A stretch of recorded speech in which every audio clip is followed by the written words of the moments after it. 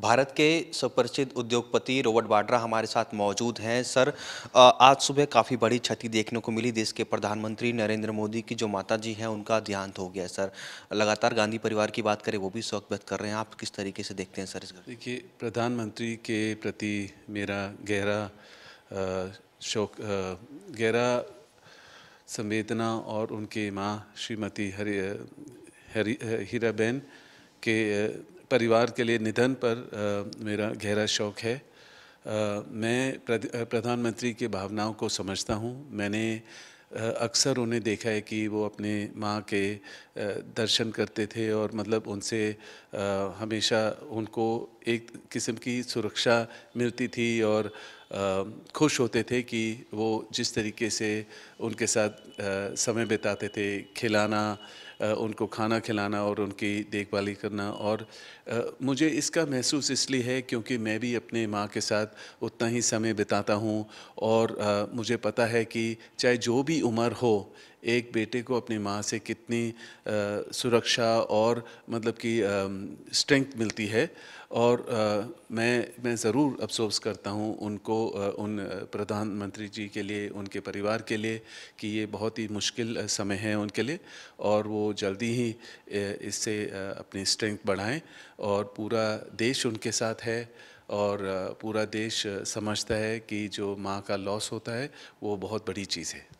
Sir जैसा कि आपने ज़िक्र किया कि आ, आ, कि मदर का जाना बहुत बड़ी क्षति है मम्मी का जाना सर। पीएम मोदी जब भी गुजरात जाते थे अपनी मम्मी से मिलते थे उनके हाथ का खाना भी खाते थे। जिस तरीके से आप ज़िक्र भी कर रहे हैं सर तो ये किस तरीके से थे मैं वही कह रहा हूँ कि मुझे ज़रूर इसका अंदाज़ा है क्योंकि मैं भी अपने माँ के साथ जितना समय मिलता है मैं उनके साथ बैठता हूँ। जब हमारे परिवार में काफ़ी लोगों की निधन हुई, मेरे मेरी सिस्टर की मेरे ब्रदर की, मेरे फादर की तो पहले मुझे उनका पूरा हौसला बढ़ाना था और उनका ख्याल रखना था। पर ज़्यादातर मैं बोलूँगा चाहे जो भी उम्र है, चाहे प्रधानमंत्री की उनके माँ के साथ या मेरा, मेरे मदर के साथ है कि हमें हमेशा सबसे ज़्यादा सुरक्षित अपने माँ के साथ ही महसूस होता है और उनकी जो ब्लेसिंग्स होती हैं वो बहुत ज़रूरी हैं।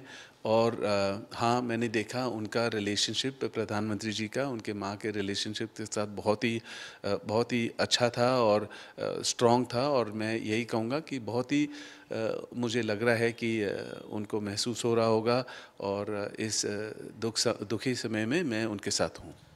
दूसरी क्षति भी यहाँ पर देखने को मिली है जो और राष्ट्रीय खिलाड़ी हैं इंडिया के। ऋषभ पंत उनकी गाड़ी का भी एक्सीडेंट हो गया है सर। युवा खिलाड़ी हैं उभरते हुए सितारा थे सर।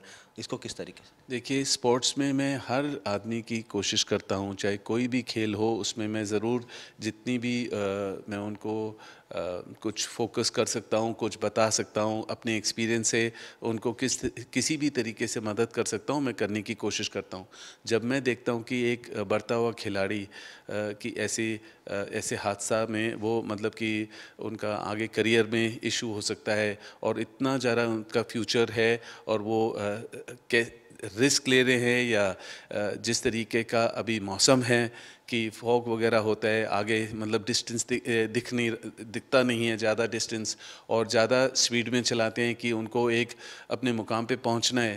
पर उल्टा हो गया है। अब उनके फ्यूचर के लिए उनको और फिजियोथेरेपी और मैं कोशिश, मैं मैं यही भगवान से प्रार्थना करता हूँ कि वो ठीक रहें और मतलब कि जल्दी ही खेल मैदान में दोबारा दिखें। और मेरा यही है सब लोगों को कि थोड़ा सोच समझ के चलाएँ रोड पे। हमारी आबादी ज़्यादा है, लोग हमेशा, चाहे हाईवे बड़े हों पर कोई ना कोई गलत तरीके से आते हैं और सबका यही है कि तौर पूरे अपने उसूल से चलाएँ और ढंग से चलाएँ और कोई भी मुकाम इतनी जल्दी नहीं पहुँच पाएगा जिसमें आपको अपने लाइफ को रिस्क करना पड़े।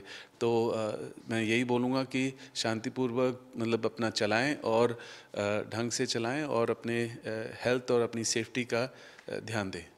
बहुत धन्यवाद सर खबर तक से बातचीत करने के लिए तो ये थे रॉबर्ट बाड्रा, जिन्होंने देश के प्रधानमंत्री नरेंद्र मोदी जी की माता माता के निधन पर शोक व्यक्त किया है। वहीं जिस तरीके से गांधी परिवार की बात करें, रॉबर्ट बाड्रा परिवार की बात करें, और पूरा देश ही कहीं ना कहीं इस वक्त शोक में व्यक्त है। मेरे सहयोगी जस्सी के साथ राजा पटेल, दिल्ली खबरें अभी तक।